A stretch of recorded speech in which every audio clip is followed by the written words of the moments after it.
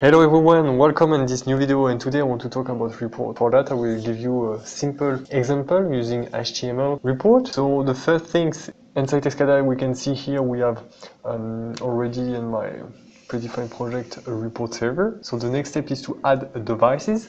So we'll add these devices like that with a name, a format, the file name. So you can see report.html.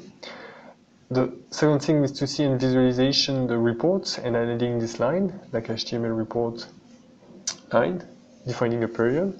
And we can see here I define a template, report.html template, using few parameters, but including the variables of my project, like start and level, like this. So we can see here my variables in my project.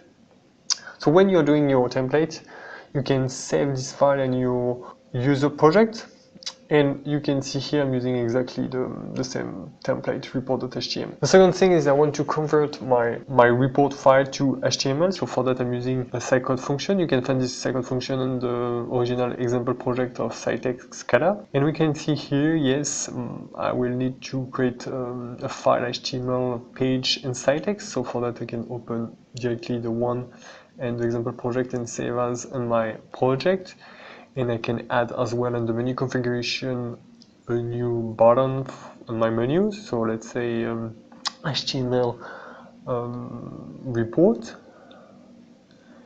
And I can specify as well the function I'm calling. So display report HTML the second function we just saw and I can add as well a symbol for this button on my menu so when this is done, you can uh, run and compile your project.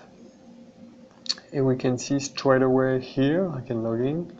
I can see my report, HTML report by clicking like that. So we see the format, we have the value, and if I stop my pump, my tank is decreasing, I can see the report is updated. So this is how you define a HTML report in Citect 2018. Thanks for watching and see you for the next video on Citect 2018. Cheers!